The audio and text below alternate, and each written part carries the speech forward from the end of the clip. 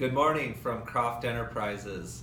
I'm sporting my new tie this morning from my sister Becca, who bought this tie in Italy. So thank you, Becca. That was a nice Christmas gift. Speaking of Christmas, we're nearing the end of the year, and people are probably have lots on their mind and lots on their plate of things they want to accomplish, um, like us at Croft Enterprises. And one thing that you should be thinking about is your tax liability for 2017 for your 2016 year.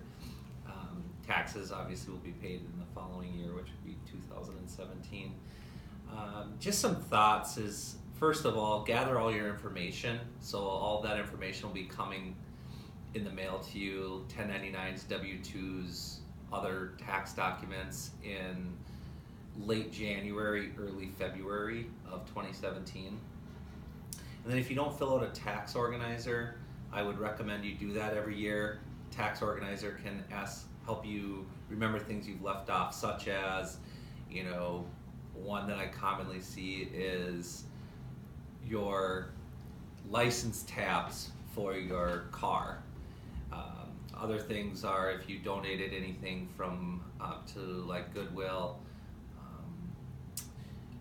So those are some things. Other things that are really on my mind is like retirement planning. Uh, you can take a retirement deduction, or excuse me, a tax deduction for a retirement plan all the way up until April 15th of 2017 for 2016. Yes, I'll repeat that. You can take a tax deduction for 2016 all the way up until April 15th of 2017 for numerous retirement vehicles.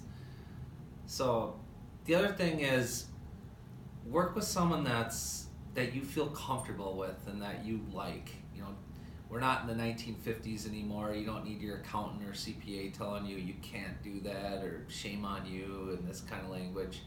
I fired all my old accountants that did that with me. I became my own accountant. So that's what I'd love to do with you is to treat you like a human being, treat you with respect and be fair with you and kind. And, um, you know, taxes aren't as scary as, as you may think. Matter of fact, uh, just yesterday I got back a refund from the IRS. Um, I won't disclose the dollar amount, but that I did my own, uh, I represented myself on an issue with the IRS that I challenged them on. And um, it's scary to be audited but that'd be a good question for your accountant or your CPA. Say, hey, have you ever gone through an audit or, or a uh, um, or pushed back on something? And if they haven't, I mean, what kind of experience do, does he or she have? So, anyways, uh, hope the message finds you well, and um, Merry Christmas, Happy Holidays, and make 2017 your best year ever.